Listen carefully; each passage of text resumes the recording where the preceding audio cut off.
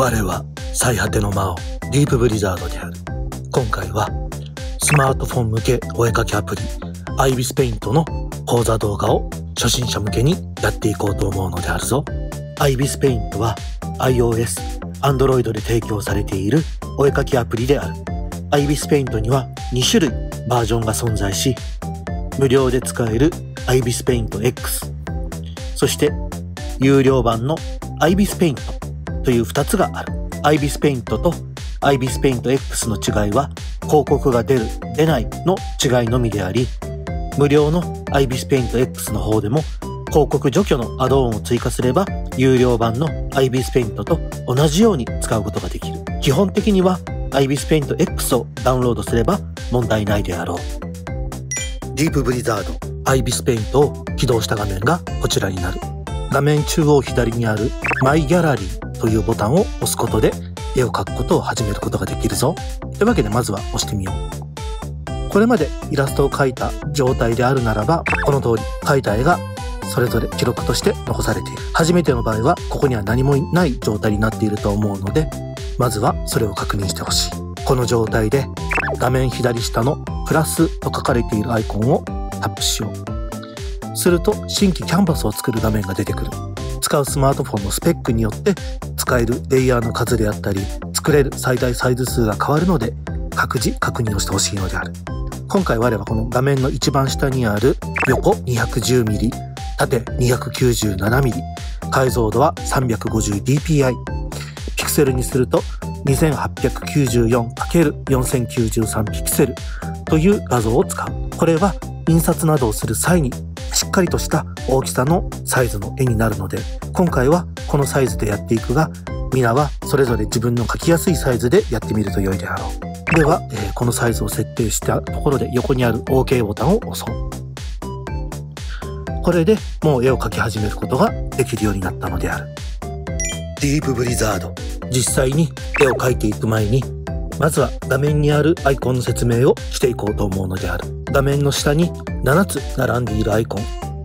左からこれはブラシと消しゴムの切り替え。ツール選択。設定カラーフルスクリーンレイヤーそしてバックというアイコンになる。まずは、え左から2つ目にあるツール選択というアイコンをタップするとこの通り中にまた様々な設定のものが出てくる。線を引くのであればブラシの設定を使うのでブラシをタップすると。この通り大量のブラシが用意されているのがわかるであろうか。線を引くものからこの通り絵の効果として使えるものまでたくさんのものが収録されている。我は、えー、広告スキップというものの、えー、課金をしているのでこれを自由に使うことができるがアイビスペイントを無料で使っているものは一度広告動画を見ることで18時間ブラシを自由に使うことができる。18時間後はまた広告を一度見れば解禁することができるので特に課金をしなければいけないというものではないので安心してほしいのであるぞ。我がこの中でよく使うのは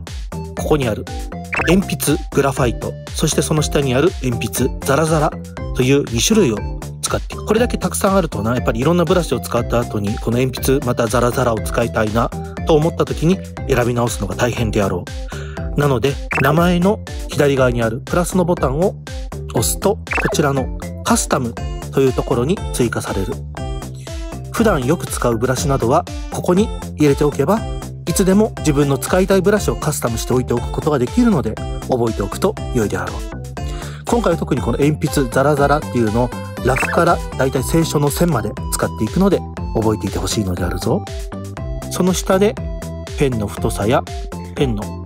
不透明度を調整できるので、まずはだいたい 30mm 前後ぐらいにしておいて、そして下の矢印をタップして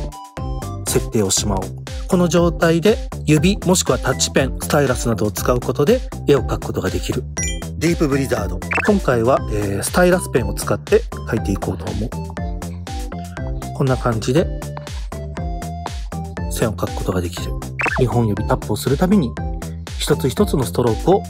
取り消してくれる。そして指3本でタップするとやり直しといって最後に書いたところまでをやり直してくれるという機能がある。これを使いこなすことでデジタルの絵の一番のメリットである何度でも書き直し、やり直しができるというのを覚えておくと良いであろう。そして、指2本のピンチイン、ピンチアウト。指を広げたりすぼめたりすることで、拡大縮小、そして指2本を使って回転させることで、キャンバスの回転をすることができる。おおよそ水平垂直にすると、キャンバスをピタッとフィットして戻してくれるので、とても使い勝手が良いであるぞ。そして、えー、指で書く場合、この手ブレ補正というのは我は個人的に6とか5から7ぐらい入れておくと指で書く場合でも非常に書きやすくなる。ただスタイラスペンなどを使う場合は1もしくはオフぐらいにしておくと書きやすいかのうと我は思っておるのでもし指で書くもしくはスタイラスペンで書くのであればここの手ブレ補正の設定はチェックしておくと良いであろう。この常時この画面の下にはアイコンであったりこのブラシのサイズだったり不透明度を調整できるパレットがあるがこの下向きの矢印全画面フルスクリーンのアイコンをタップするとこの通り不必要なアイコンが消えて非常にスッキリと書きやすくなる。自分のやりやすいように調整をすると良いであろう、まあ、今回我はこの画面を出したまま基本的には書いていこうと思うのでまずはキャラクターのラフをこれで書いていこうと思うのであるぞ。ディープブリザード。まずは大まかなキャラクターの配置を決めるための当たりというものを書いていこう。本当にもうこの段階ではこういうポーズでこんな風に書こうっていうのがわかる程度で良いので細かいところを一気に書き込もうとすると大変なの大変であったり全体を見通すのが難しかったりするなのでこんな感じでまずはどんな絵にしたいのかというラフをざっくりとでいいので書いておこう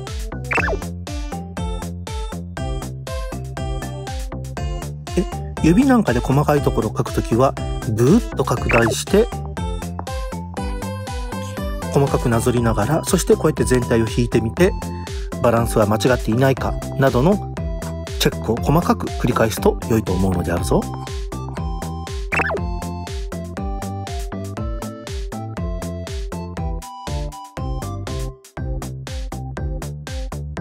はこれでキャラクターの当たりができたので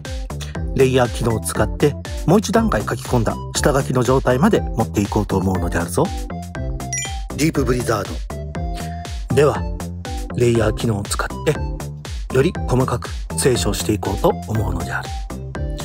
画面下の右から2番目にあるレイヤーのアイコンをタップしよう。するとこの通りレイヤーの画面が出てくる。今現在我は1と書かれているレイヤーにあたりを描いていた。新しいレイヤーを使って絵を描いていきたいので、画面左側にあるプラスのアイコンを押そう。新規レイヤーの追加と出てくる。するとこの通り2と書かれたレイヤーができた。わかりやすくするために、レイヤー名を変更して、下書きとしておこう。この通り下書きというレイヤーができた。そしてタップすることでどのレイヤーに書くかということを切り替えることができる。そして今、当たりを書いていた1のレイヤーを選び直して、下にあるレイヤーの不透明度を20%前後まで下げておこう。こうすることで下書きを書いた際に、どのレイヤーに何を書いているのかというのを区別しやすくなるのであるぞ。ディープブリザード。では、当たりのレイヤーを20%まで不透明度を下げたところで、下書きのレイヤーをタップして、下書きレイヤーを選択して、このレイヤーの画面をしまおう。この状態で、こちら今使っている鉛筆ザラザラの線の太さを少し細くして20前後にしておこう。そして拡大しながらもう少し細かくキャラクターの各パーツを書き込んでいこう。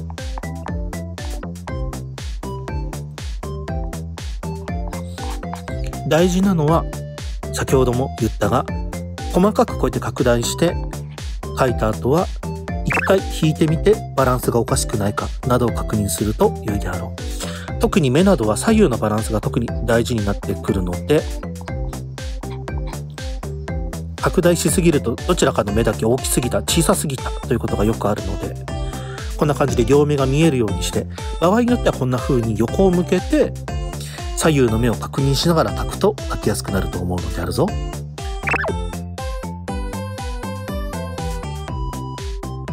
でこうやって画面を回転しながら書くと絵というのはなまっすぐ線を引くというよりも手首のスナップで書くのでこんな感じでカーブを描くことの方が実は得意だったりするのであるなのでそのカーブが描きやすい角度に画面を回転して描くと例えばこういう輪郭線なんかの柔らかいカーブなんかも描きやすくなるのであるぞ。そしてこうやっていらない線があった場合は、ペンツールと消し込むツールの切り替えボタンを押して、消し込むツールに切り替えてこのように不要な線を一旦消して整理などをしておくとよりラフの整理がしやすくなるであるぞ。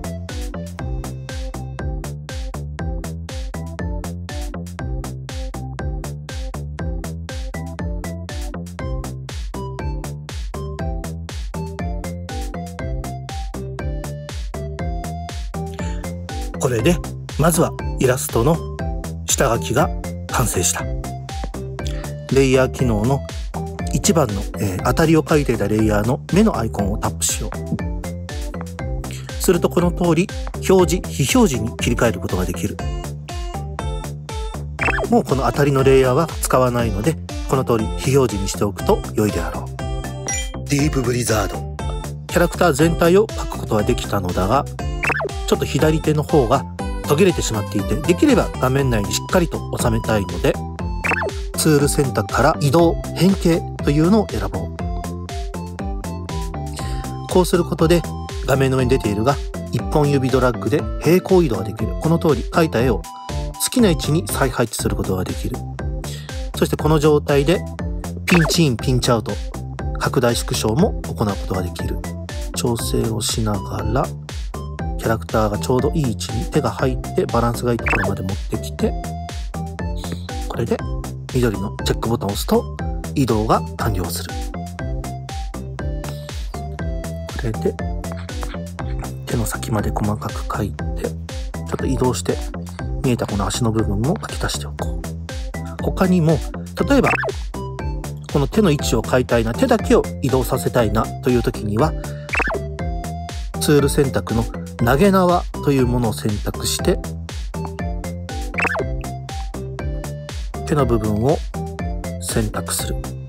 そして下にある移動変形というアイコンをタップするとこの通り移動させることができるようになるので先ほどと同じように1本指で動かしたり操作で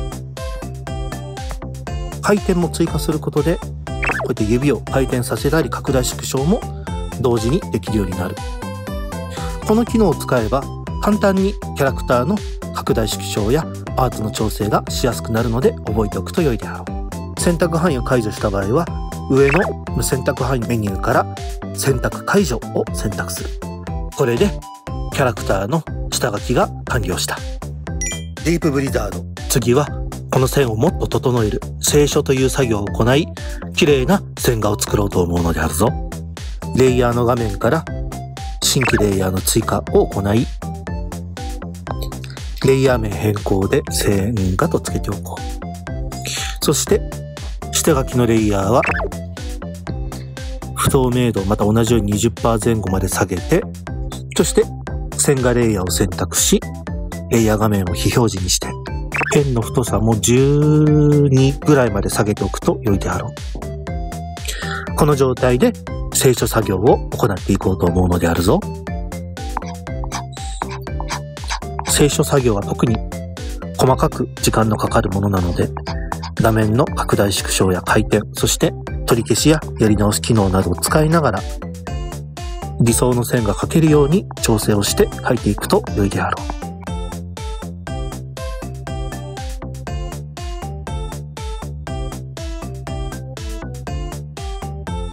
ある程度書いたら引いた状態で全体のバランスを確認しながら同じようにその作業を繰り返していこう。線がうまく引けないなと思ったらより拡大して書いてみると良いであろう。引いている状態だと指やタッチペン、スタイラスなどのズレが生じることもあるので、ある程度調整することはできるが、拡大した方がより正確に、そして綺麗に線を引くことができるということを覚えておけば、スマホで絵を描くのが難しいと思っているものでも、比較的簡単に絵を描くことができるのであるぞ。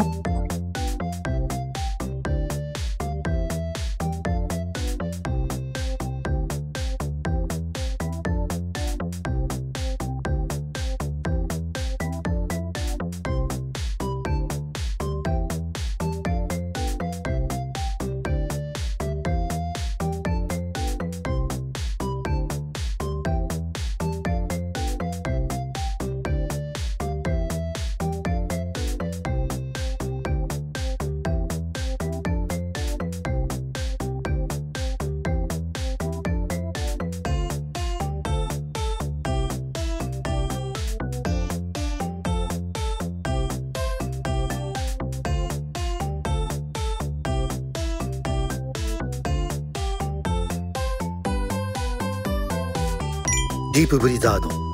これで線画の清書が完了した。レイヤーの画面を出して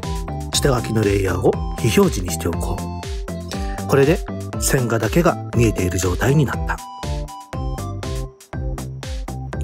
この通り鉛筆のタッチを生かしたアナログの風味のある線画になっているのがわかるであろうか。次回はこの線画を使って着色と仕上げを行っていく。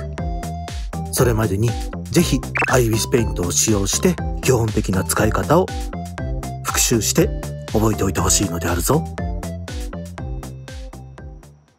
動画のご視聴誠にありがとうなのであった。良ければチャンネル登録、高評価、通知のオン、SNS のフォローなどよろしくお願いいたすのであるぞ。